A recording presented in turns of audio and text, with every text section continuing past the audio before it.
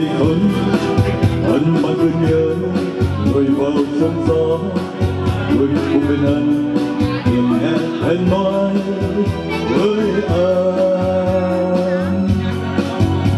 Cơn gió nào mấy năm cuộc đời nói với em và tôi đã nói cơn gió nào, bên tai thì thầm nói với em, rằng tôi rất xa.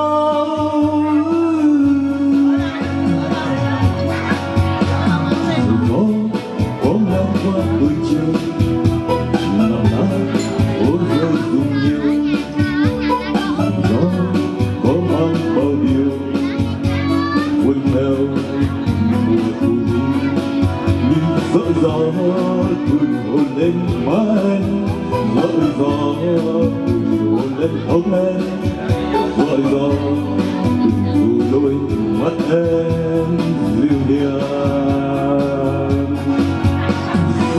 Nói dần em luôn nhớ anh.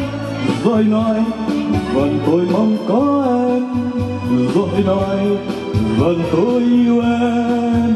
Rồi nói rằng tôi yêu em.